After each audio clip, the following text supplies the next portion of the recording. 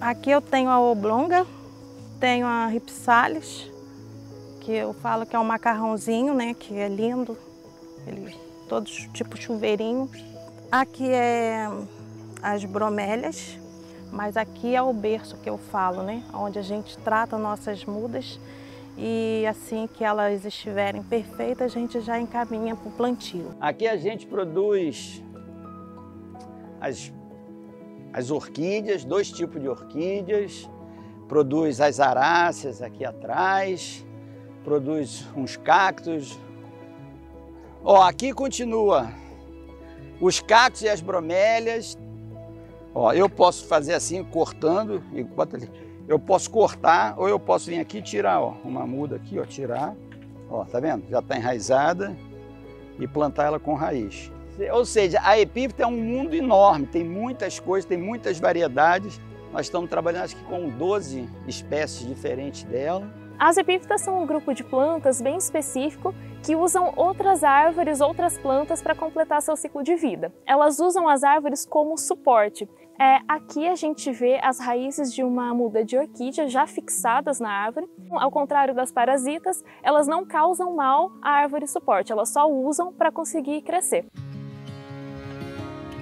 Esse projeto de reintrodução de epífitas, ele foi pensado já dentro da nossa estratégia de restauração florestal que a associação executa há muitos anos, para conectar as florestas, para viabilizar o habitat do mico-leão dourado. Acontece que quando a gente planta a floresta, algumas dessas espécies demoram muito tempo para ocupar o território. A equipe da Associação Mico-Leão Dourado pensou, puxa, vamos fazer um projeto então de enriquecimento dos nossos plantios. Nós acionamos toda uma rede de viveristas para pensar junto com pesquisadores como reproduzir e acelerar este processo de ocupação do território pelas epífitas. É um projeto inovador, diferente, que nós estamos super felizes de executar. Ele foi feito então com recursos do Banco Alemão KfW, um projeto é, estruturado pelo Ministério do Meio Ambiente é, com o FUNBIO, Fundo Brasileiro para a Biodiversidade. Porque a restauração o que, que é? Ela é você retornar um ambiente ao que ele era antes.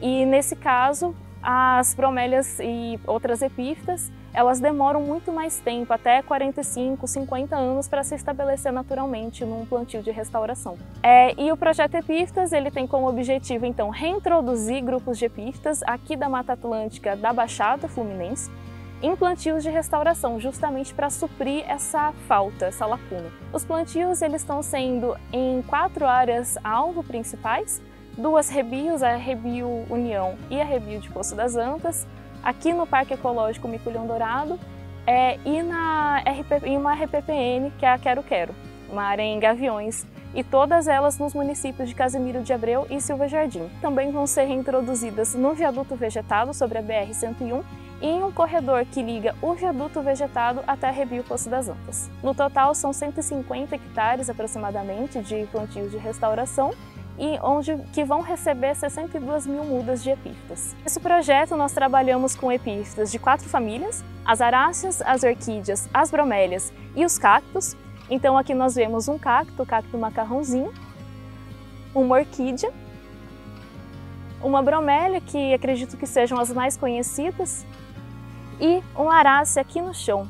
As aráceas elas têm um ciclo de vida um pouco diferente porque elas iniciam ele elas começam crescendo do chão e depois elas vêm subindo ao longo da árvore suporte. E esse projeto, então, ele envolve diversos atores. Ele envolve a equipe técnica da Associação Miculhão Dourado, envolve também a rede de viveristas parceiros da, da Associação Miculhão Dourado, que são cinco famílias que é, conduzem esse trabalho de cultivo de mudas. E também envolve diversos pesquisadores da Universidade Estadual do Norte Fluminense, a UENF, em Campos, e a Universidade Federal Rural do Rio de Janeiro. E também representantes e empresas que fazem o plantio dessas epífitas em campo.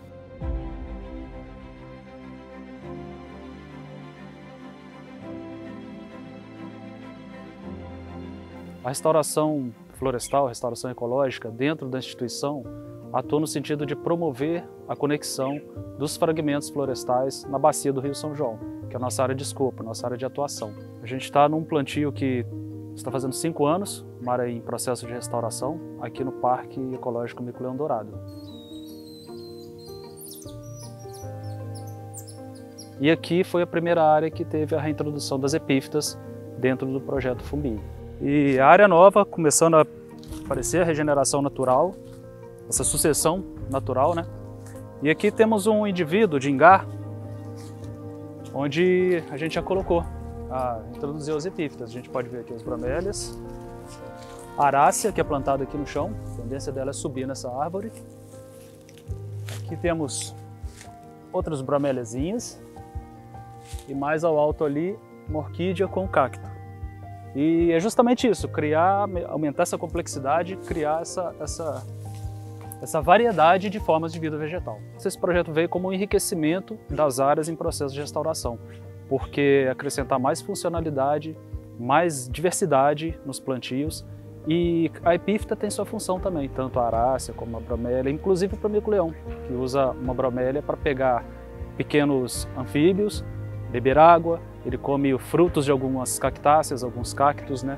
E algumas árvores têm fitas, né? Que elas estão marcadas para o monitoramento, os pesquisadores continuarem o monitoramento para ver o desenvolvimento, o pegamento, o índice de mortalidade e, se der tudo certo, o sucesso da introdução das epífitas.